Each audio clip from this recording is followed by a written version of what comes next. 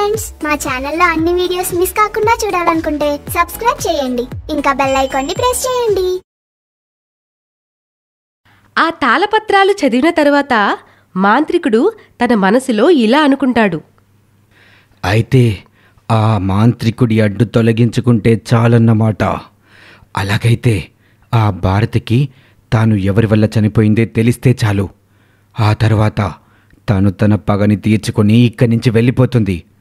ఆ తర్వాత ఈ బంగారం అంతా నా సొంతం చేసుకుంటాను. ఏమైంది? ఆ కాగితాల్లో ఏం రాసుంది? ఆ పొలిమేర దెయ్యం గురించి. అలాగే ఆ దెయ్యం అక్కడ ఉండటానికి కారణం ఏంటో అంత ఇందులో రాసింది. అవునా? ఎందుకు ఆ దెయ్యం అక్కడ కాపలాగా ఉంది? దానికి ఈ బంగారానికి సంబంధం ఏంటి? అదంతా నీకు తెలియకపోవటమే మంచిది. అదేంటి? ఎందుకని? ఈ తాళపత్ర గ్రంథాల్ని చదివిన వ్యక్తి మాత్రమే ఈ ఊరికి ఆ దెయ్యం నుంచి విముక్తి కలిగించగలడు. అతను కాక ఇంకెవరైనా ఈ గ్రంథాన్ని చదివితే దాంట్లో ఏముందా అని తెలుసుకోవాలనుకున్నా సరే వాళ్ళకి చావు తప్పదు. ఇప్పుడు చెప్పనా? వద్దులేండి. అయితే ఆ తాళపత్ర గ్రంథాల్ని చదివిన మీరే ఆ దెయ్యాన్ని ఇప్పుడు ఎదిరించగలరా?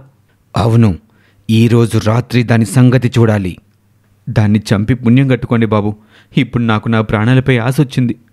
ఇక వాళ్ళిద్దరూ ఆ గుహ నుండి బయటకు వెళ్ళిపోతారు. అప్పుడు ఆ ఊరిలోని ఒక వ్యక్తి వాళ్ళు ఆ గుహ నుండి బయటకు రావడాన్ని చూస్తాడు. ఎవరిల్లు? ఈ గుహ నుంచి బయటకు వస్తున్నారు? అతను యశ్వంత్తో పాటు ఈ ఊరికొచ్చినాడే కదా?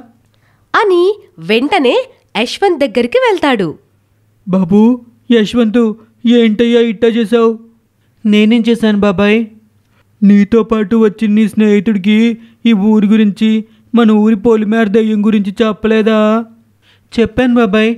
ఆ దెయ్యం గురించి ఆ గుహ గురించి అంతా చెప్పాను. ఇప్పుడైనా ఏమైంది? మరి నువ్వు చెప్పిన మాటల్ని పట్టించుకోకుండా ఆ అబ్బాయి బంగారం ఉన్న గుహలోకి ఎందుకు వెళ్ళాడు? ఆడితో పాటు ఎవరో పెద్ద అని కూడా ఉన్నాడు. ఈ కాళ్ళు ప్రాణాలతో ఈ ఊరి నుంచి బయటికి వెళ్ళలేరు బాబు. ఏంటి బాబాయ్ నువ్వు చెప్పేది? వాడు నిజంగా నా ఫ్రెండేనా? నువ్వు సరిగ్గా చూసావా? అయినా నాతో పాటు వాడు ఒక్కడే వచ్చాడు కదా. ఇంకో వ్యక్తి అంటూ ఎవరూ రాలేదు. నేను చెప్పేది అమ్ము బాబు. కావాలంటే మీ ఫ్రెండ్ వచ్చాక నువ్వే కనుక్కో. ఇక నీ ఇట్టం ఆ మాటలు విన్న యశ్వంత్ చాలా కంగారు పడతాడు. వెంటనే ఆ విజయ్ని వెతుక్కుంటూ ఆ గుహ వైపుకు వెళ్తాడు. కొంతసేపటికి యశ్వంత్కి విజయ్ కనిపిస్తాడు. ఇంత పని చేసావేంట్రా నిన్ను అనవసరంగా నమ్మి ఇక్కడికి తీసుకొచ్చాను. ఇప్పుడు నువ్వు ప్రాణాలతో బయటికి వెళ్ళలేవు. అంత చెప్పినా కూడా నువ్వు నా మాట వినకుండా ఆ గుహ దగ్గరికి ఎందుకు వెళ్ళావురా? అసలు ఈయనెవరు ఇక్కడికి ఎలా వచ్చాడు? రేయ్ నీ మాట వినకుండా ఆ గుహలోకి వెళ్ళటం నా తప్పే. కానీ నేను ఆ దెయ్యం చేతిలో చావాలని ఏమాత్రం అనుకోవటం లేదురా. అని ఇప్పటిదాకా జరిగిందంతా యశ్వంత్కు చెప్తాడు. చూడు బాబు ఇంకా ఎన్నాళ్ళు? ఇలా ఆ దెయ్యానికి భయపడుతూ బ్రతుకుతూ ఉంటారు. ఆ దేవుడే ఇతన్ని ఈ ఊరికి వచ్చేలా చేశాడు. నా మాట నమ్ము. ఆ దెయ్యం పీడ వదిలించుకునే మార్గం నా దగ్గర ఉంది. కాబట్టి నా మాట నమ్ము. ఈరోజే ఆ దెయ్యం అంతు చూస్తా. ఆ మాటలు విన్న యశ్వంత్ ఇక వేరే దారి లేక ఊరుకుంటాడు. ఇక రాత్రి అవుతుంది. ఆ మాంత్రికుడు అలాగే విజయ్ కలిసి ఆ పొలిమేర దెయ్యం దగ్గరకు వెళ్తారు. వాళ్ళ ముందుకు ఆ దెయ్యం వస్తుంది. ఎంత ధైర్యం ఉంటే ఆ గుహలోకి వెళ్తారా?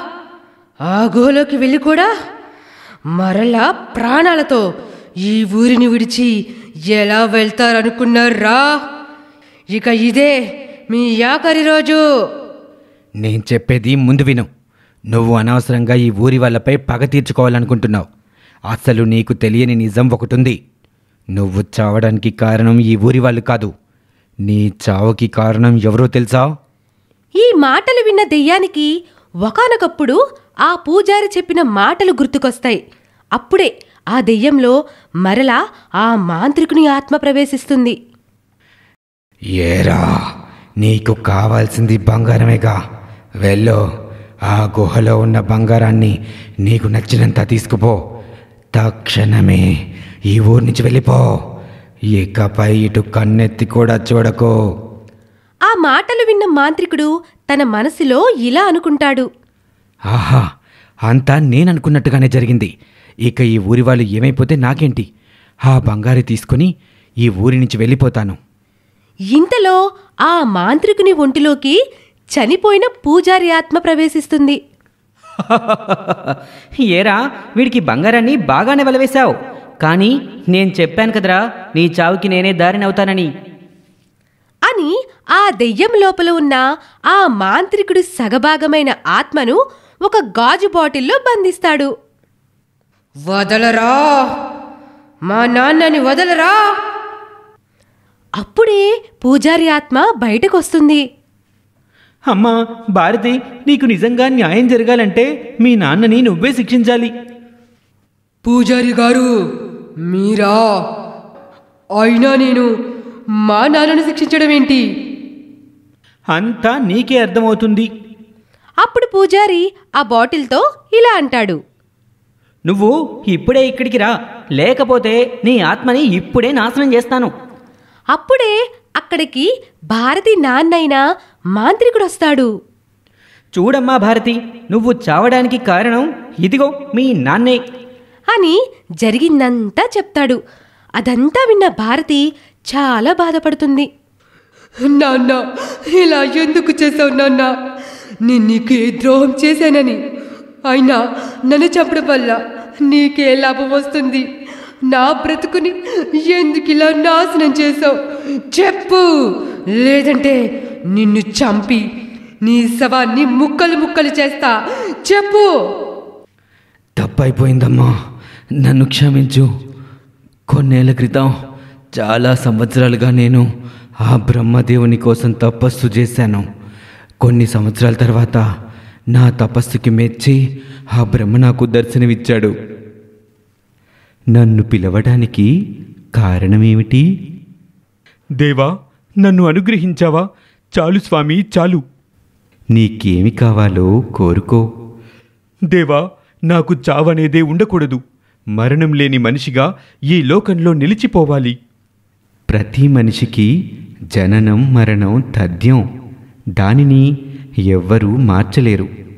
కానీ గుర్తుపెట్టుకో నిన్ను ఎవ్వరూ కూడా చంపకుండా వరమిస్తున్నాను.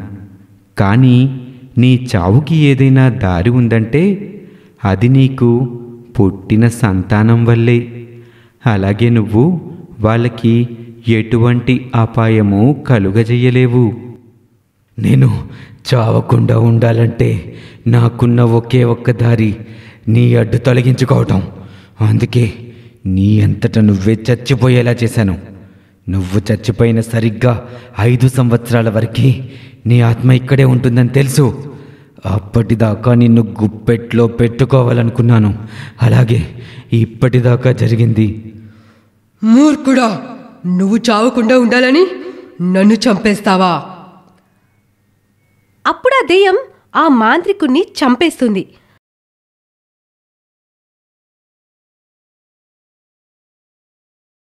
ఆ దెయ్యం విజయ్ కోసం వచ్చిన మాంత్రికునితో ఇలా అంటుంది. నువ్వు ఇప్పుడే ఇక్కడి నుండి వెళ్ళిపో. లేకపోతే నీకు ఇదే గతి పడుతుంది. ఇక ఊర్లోని వాళ్ళకి ఎవరి బంగారం వాళ్ళ దగ్గరికి వచ్చి చేరుతుంది. నిజం తెలుసుకొని ఊరి వాళ్ళంతా కలిసి భారతి భర్తను జైలు నుండి బయటకు విడుదల చేయిస్తారు.